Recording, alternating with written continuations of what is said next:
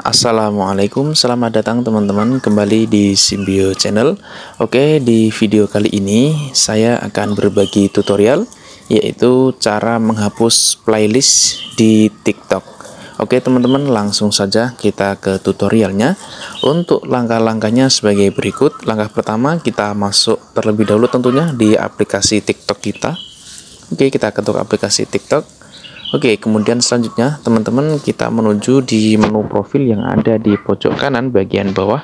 Kita ketuk menu profil. Oke, kemudian selanjutnya di sini akan muncul playlist ya. Oke, di sini akan kita hapus. Caranya langsung kita ketuk di bagian playlist. Kita ketuk seperti ini.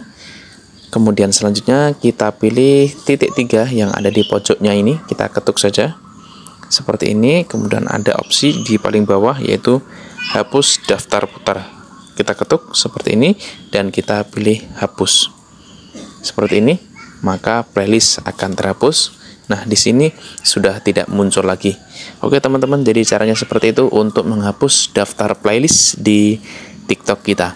Oke, semoga informasi ini bermanfaat dan jangan lupa selalu nantikan video-video admin selanjutnya. Terima kasih.